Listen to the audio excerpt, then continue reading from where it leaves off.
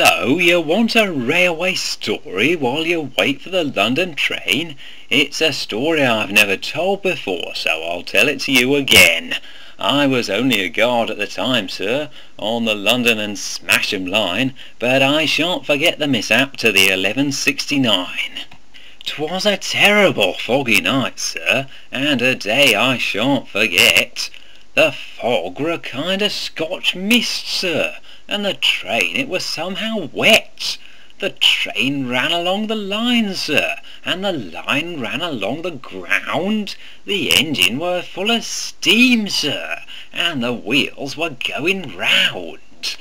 What made the wheels go round and round, it's more than I can say, but the signal was dead against us, so we went the other way. We were going a mile a minute when I stepped out on the line, and the driver said we were due, sir, at 11.69. So I got back into the van, sir, and swallowed a bottle of Bass, while we waited two hours or more, sir, for a luggage train to pass, when all of a sudden I heard, sir, the sound of a mighty crash. We could hear the shrieks of survivors, and I thought of their ready cash. So after I'd finished my pipe, sir, I strolled out on the line and gazed on the wretched wreckage of the 1169, for the coaches were all in an heap, sir, though why I cannot tell, and the passengers lying around us, they were none of 'em looking well. They slept their last sleep on the sleepers. We could hear the sleepers snore. It's a sight I've never seen, sir, and shall never see before. For the line was a mess of hats, sir, and blouses all over the place. Oh, one of the passengers' noses was in the middle of his face. We could hear the hiss of the engines and the moans of the living souls. I thought of the missus at home, sir, and collared some of the coals.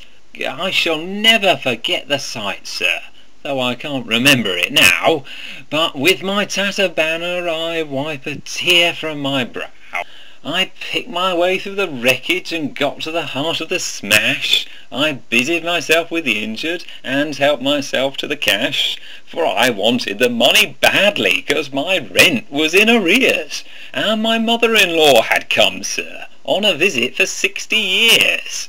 Then I saw a sweet young lady in a mashed potato state, and her final words were, Doctor, is my hat on straight? We stumbled across the stoker, and I thought that he was dead, for his body and legs were missing, and we couldn't find his head. I forget what happened next, sir. I remember it quite well. The crashing of heavy timber all a-tumbling as it fell, the doctors and the looters were around us by the score, and the police were an hour late, sir, as they've often been before. The two of us lifted the engine and placed it upon the line. But here's your down train up, sir, the 1169.